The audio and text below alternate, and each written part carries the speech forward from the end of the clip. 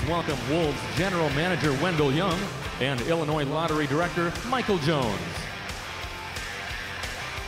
This marks the fourth season the Chicago Wolves and the Rockford IceHogs have battled to win the Illinois Lottery Cup.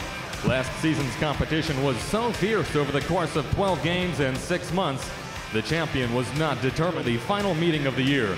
When the Wolves defeated the IceHogs 5-3 on April 18th here at the Allstate Arena, the Wolves clinched the Illinois Lottery Cup.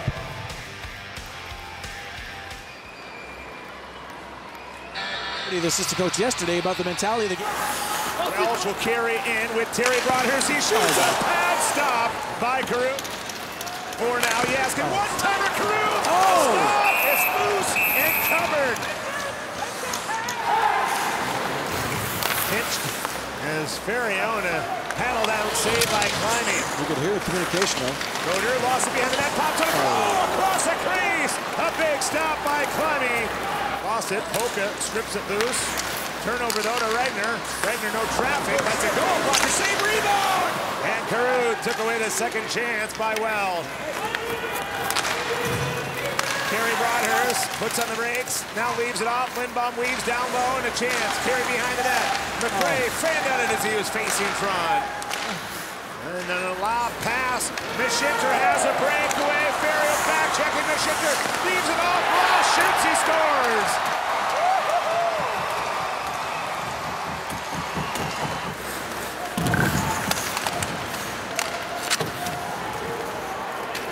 Ferrier a breakaway. Chance to tie. Dancing in. Lost the handle. Cruz trying to make the save.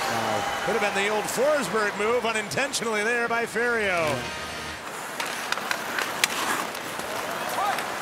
Turnover now, a chance. Oh. Ferrier, he missed the mark.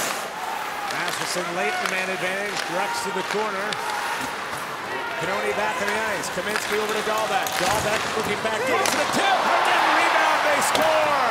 Ross has both Rockford goals. They lead 2 nothing. It's so simple to play and just great net presence. Wolves trying to get the offense on track. McRae dancing in. Two on one. And he couldn't finish the sliding defenseman. Svedberg broke it up.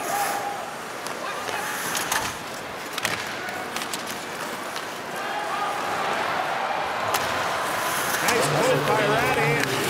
Frazier back in. Final minute. As it's sent out to center. Yeah. And the Shinter. Oh, never score an easy one.